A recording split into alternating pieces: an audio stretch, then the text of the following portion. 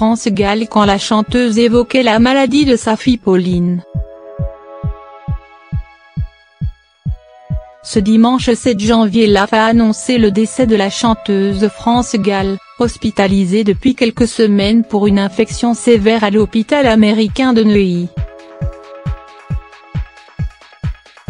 La chanteuse avait été hospitalisée au mois de décembre pour une infection sévère. Sa chargée de communication a confirmé la triste nouvelle à la il y a des mots qu'on ne voudrait jamais prononcer. France Gall a rejoint le Paradis Blanc le 7 janvier, après avoir défié depuis deux ans, avec discrétion et dignité, la récidive de son cancer. Il y a 25 ans disparaissait Michel Berger, icône de la chanson française, compositeur de nombreux tubes indémodables de la musique du XXe siècle. Celle qui a partagé sa vie pendant plus de 20 ans, France Gall, a dû faire face à ce drame puis à la mort précitée leur fille Pauline Hamburger, cinq années plus tard.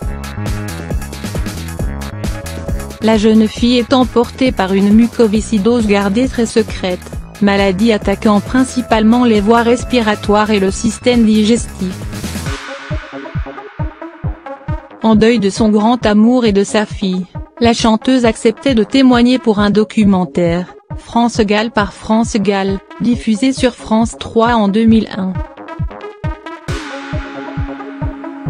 Elle évoquait le drame qui a marqué sa vie on n'en revient pas de vivre un truc pareil, racontait-elle, on n'en revient pas de vivre ça, car c'est justement le truc qu'on n'en veut pas et qu'on ne peut pas vivre.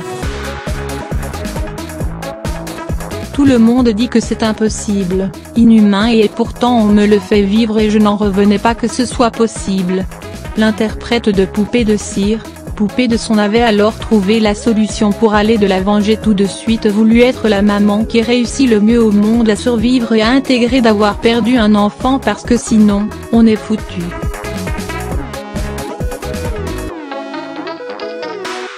Ma manière de penser ça a été c'est extraordinaire de l'avoir connue pendant 19 ans.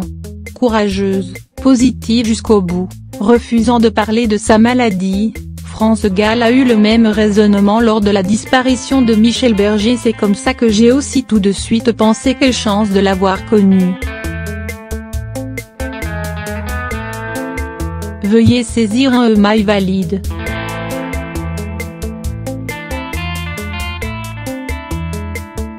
Je m'abonne Vous devez accepter les conditions générales d'utilisation du site.